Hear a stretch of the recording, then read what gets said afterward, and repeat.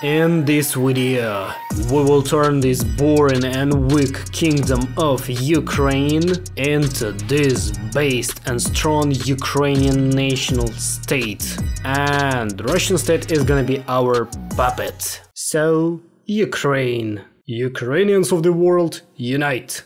Die Brot Frieden, another name of slavery. Oh my god, it has finally happened.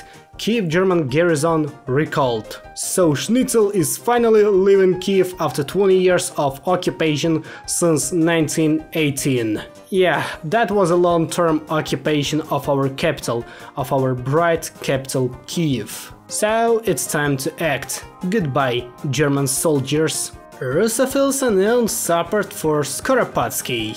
The most interesting thing is that Russophiles are mainly represented and situated in the State Army of Ukraine, because most of them are officers from the Russian Imperial Army. Oh my god, if Savinkov makes everything right, this campaign is gonna be so juicy. I just realized that it is gonna be a fight between two vozhds. Ukrainian vozhd against Russian vozhd. Savinkov, make it please, I wanna see a Russian state against Ukrainian state. And in this war, of course, Ukrainian state is gonna win. Oh well, goodbye Baltic Schnitzel. Belarus has also decided to act in a pretty interesting way, you know? Bro, why don't you want to leave Reichspakt? Seriously. I wanna take my Mozyr and Pinsk back. Um, German Empire condemns the coup. No, no, no, no, no, no, no, no, no, no, no, no, no, no, no, no, no, no, Schnitzel. We're still loyal to the Germany, at least for now. For example, Belarus is also loyal to you, so shut up. Um, oops, storming of the royal palace. Is this the birth of new Ukraine? Hell yeah. Also forgot to mention boys that Ukrainian military organization is de facto a local organization of Ukrainian nationalists, which has existed in the real life. Okay, we will establish coalition with totalists. With us like all of those goddamn socialists, syndicalists, another, another, another social democrats, but totalism, that's another question. Coalition between totalists and national populists.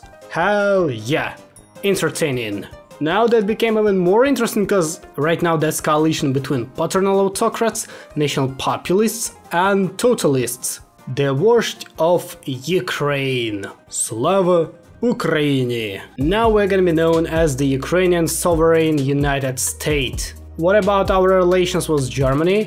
We must become completely free of any German influence, cause we were fighting for the real Ukrainian independence from Schnitzel and other states too. So that's Ukrainian state with the based color. Now we are waiting for our Russian friend to change color and change the state rule. Oh my god, this icon is so freaking based, the vozhd of Ukraine. I really like it. And that's our vozhd, Yevgen Konovalets who reminds me Savinkov. Now you probably understand why. God damn, does all of those national populist dictators looks the same? Germans demand strict guarantees. We can agree to that, but we demand their guarantees as well. Cause fighting against the Germans isn't a good idea. So we signed Treaty of Dresden. Now we're finally free in October 1936. Thanks God they agreed on that. I guess that the greatest banger of Kaiser Redux is coming. Because we see the rise of vozhd in Russia. Kiev against Petrograd. Or Moscow if they decide to change their capital. Wait, Savinkovist influence? I wanna search it. The Savinkovists in Russia are claimed to be great Russian chauvinists, but we know that we can borrow some useful economic and political ideas from them. So our Ukrainian state isn't as far away from Russian state as you can think. Sheesh man, they definitely looks the same. Konovalets is just younger than Savinkov. What about our new Ukrainian flag? Man, I really like it. As a some kind of designer, I can approve it. Скотч, скотч, скотч, и все проблемы быстро решены. Скотч, скотч, скотч. that should terrify us, because Russia announces her ambitions. and his soldiers are working on this picture. Ukrainian woman in struggle for nation. Okay, woman can struggle for nation. I agree with that. But after saving Ukrainian independence, they must get back to the kitchens. Vozhd is Ukraine. Ukraine is vozhd. Ech, Azovstal, rest in peace. Uh, uh, uh, uh, uh, um, how did you become a New York commune? Who the hell wanted to become a commune in New York City? Show me those people who wanted to establish New York City commune.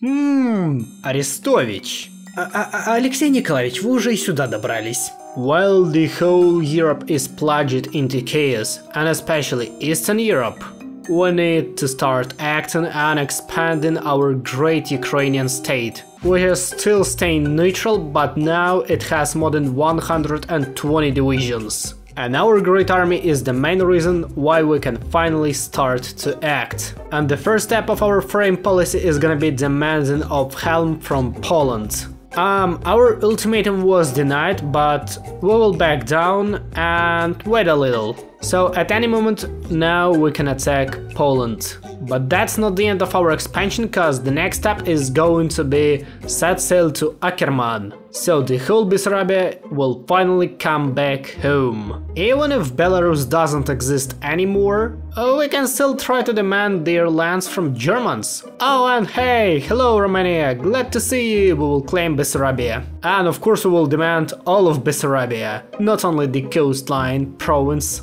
um, they agreed. Finally, Ukrainians will be freed from Romanization. That's the first major success of Ukrainian foreign policy. Wow. Now I just need to integrate all that stuff. The same we can do about Kuban, and of course we can try to size West Ukrainian lands too.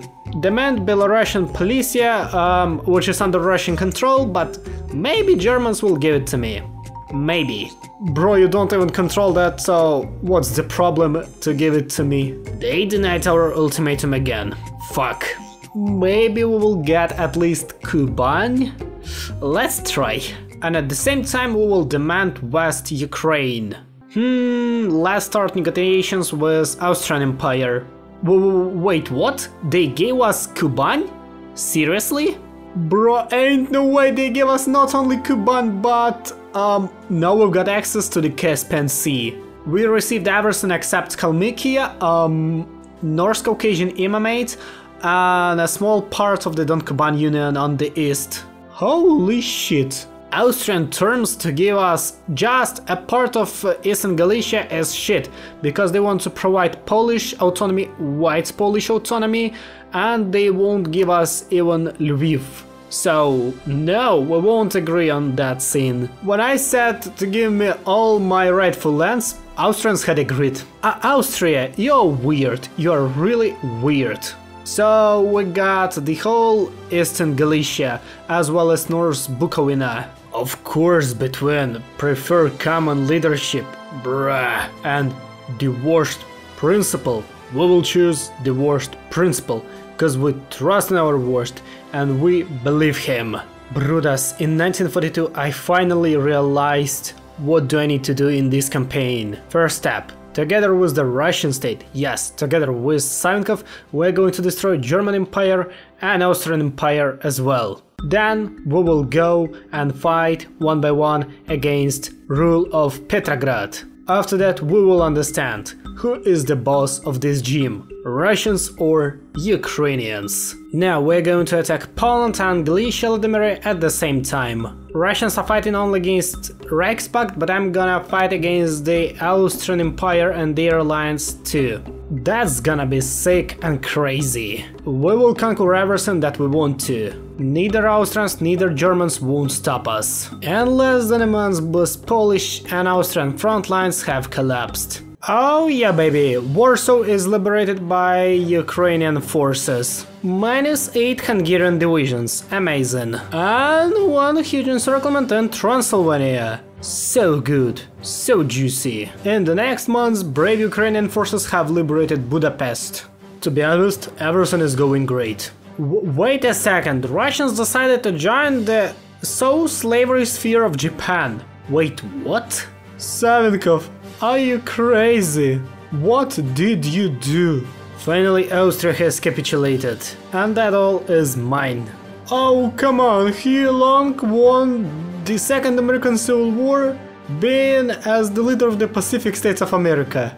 Bro is doing everything and choosing every single faction just to win something. And by the way, Germany has almost capitulated.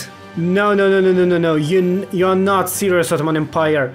They were in Reichspakt and then they decided, well, if Reichspakt collapsed, um, maybe we join Entente? Hell no, man. I'll give it to Russia. Okay, not to me, to Russians. But this piece of shit won't take me in war against Entente too. I'm already fighting against the Reichspakt, the Nubian Federation. I'm gonna fight against the Soul Slavery Sphere and the Russians at the same time, and they want me to fight against Entente too. I don't want to fight against every single major faction in our today's campaign. I have formed a lot of puppets around me which won't take part in war with Russia cause who needs to involve them? Well, except Belarus and Lithuania, I'm going to involve them into this war. In 14 days we are starting our new war, war against the Russian state. Sounds like a joke, but anyway, the Ukrainian Sovereign United State declared war on the Russian state. So we have switched sides. oh my god, minus around 20 divisions in Estonia. A truly happy end for Entente. Oh my god, Russia, please capitulate. I'm really tired to fight against those huge states. Um, Entente is doing really amazing stuff here in Europe too.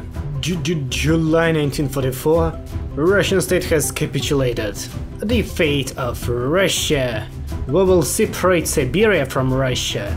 Oh yeah, and that's Russian state and that's Siberia.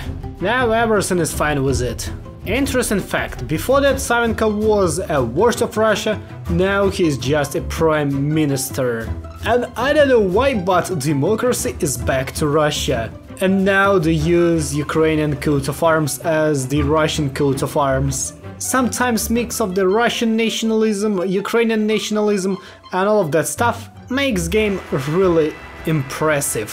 Uh, what about Kazakhstan and Karelia? Who cares about them, really?